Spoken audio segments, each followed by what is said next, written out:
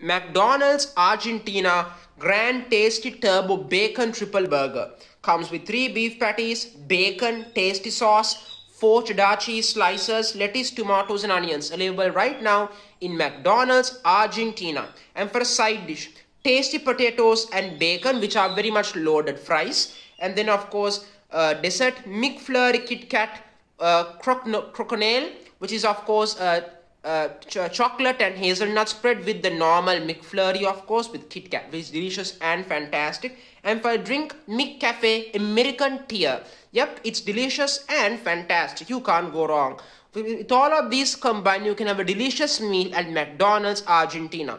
Just goes to show you the, the, the level of variety and options that you can have outside the main USA branches of McDonald's are tremendous and huge. And I really wish the American branches of McDonald's they offer these type of options especially in McDonald's Canada as well. Just so you should know they come with pretty limited options as well.